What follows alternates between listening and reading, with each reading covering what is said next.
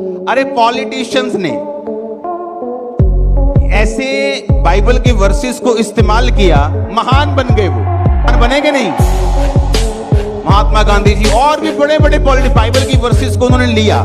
यीशु मसीह ने कहा है। किसने कहा है ऐसा कि एक गाल पे थप्पड़ मारो, दूसरा आगे? किसने नहीं कहा? जीसस के अलावा। दोस्तों, जैसा कि आप सभी जानते होंगे कि तीन चार दिन पहले मैंने आपको अपने इस चैनल पर एक वीडियो क्लिप दिखाई थी। जिसमें कांग्रेस के नेता राहुल गांधी ससंद में प्रभु यीशु के वचन को सबको सुना रहे थे, जो कि मती पाँच की उनतालीस का वचन था कि अगर कोई तुम्हारी एक गाल पर थप्पड़ मारे तो अपना दूसरा गाल भी आगे कर दो, जो कि प्रभु यीशु मसीह ने कहा था।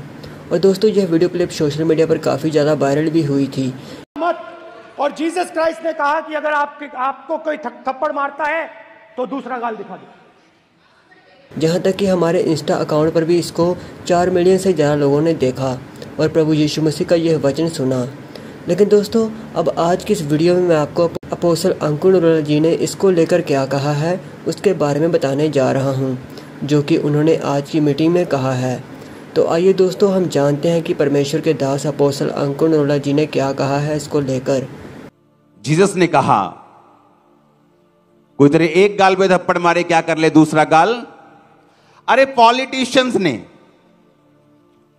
ऐसे बाइबल के वर्सेस को इस्तेमाल किया, महान बन गए वो। बनेंगे नहीं। महात्मा गांधी जी और भी बड़े बड़े पॉलिटिक बाइबल की वर्सेस को उन्होंने लिया कि यीशु मसीह ने कहा है। किसने कहा है ऐसा कि एक काल पे थप्पड़ मारो, दूसरा आगे? किसने नहीं कहा? जीसस के अलावा। आप इमेजिन हो कि बड़े बड़े पॉलिटिशियन बाइबल की वर्स को यूज़ करके इतने महान बन गए कि आज आप दुनिया के जिस मर्ज़ी कोने में चले जाओ, महात्मा गांधी जी की मूर्ति आपको वहाँ मिलेगी। आप लंदन चले जाओ, आप दुनिया के किसी देश में चले जाओ, महात्मा गांधी को सब लोग जानते हैं।